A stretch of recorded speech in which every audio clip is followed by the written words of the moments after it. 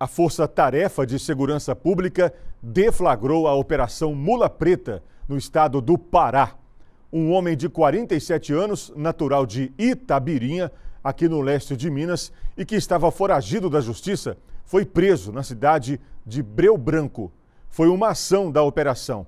O repórter Miguel Braz, ao vivo, comenta este caso. Miguel, boa noite para você. Esse homem estava na lista da difusão vermelha. Explica para a gente o que significa isso? Boa noite.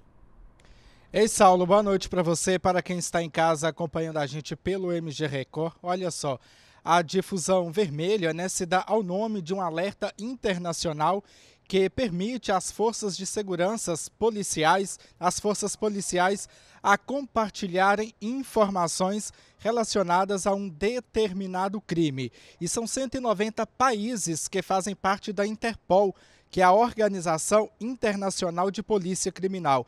A difusão vermelha representa a possibilidade de prisão da pessoa que se encontra em país estrangeiro e que contra ela há um mandado de prisão e que após todos os procedimentos a pessoa é extraditada ao país onde o crime ocorreu para o cumprimento da pena. Mas neste caso, a Polícia Federal informou que o nome de Paulo Henrique de Souza, de 47 anos, foi incluído na relação da Interpol porque havia indícios de que ele poderia estar fora do Brasil.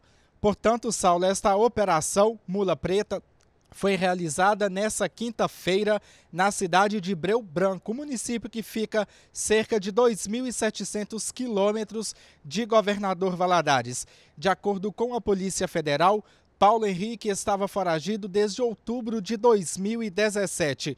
Ele é acusado dos crimes de corrupção, de fraude em licitação, também de integrar a uma organização criminosa e de homicídio ele foi autuado em flagrante pelos crimes de uso de documento falso e posse ilegal de armas de fogo e munições. E contra ele, de acordo com a polícia, pesavam quatro mandados de prisão expedidos pela Justiça Federal e Estadual. A Operação Mula Preta, coordenada pela Polícia Federal, contou, contou com o apoio da FICO, que é a Força Integrada de Combate ao Crime Organizado de Governador Valadares, a FICO do Estado do Amapá e a Polícia Civil do Estado do Pará. Saulo. Ok, Miguel, obrigado por enquanto. No próximo bloco a gente conversa mais.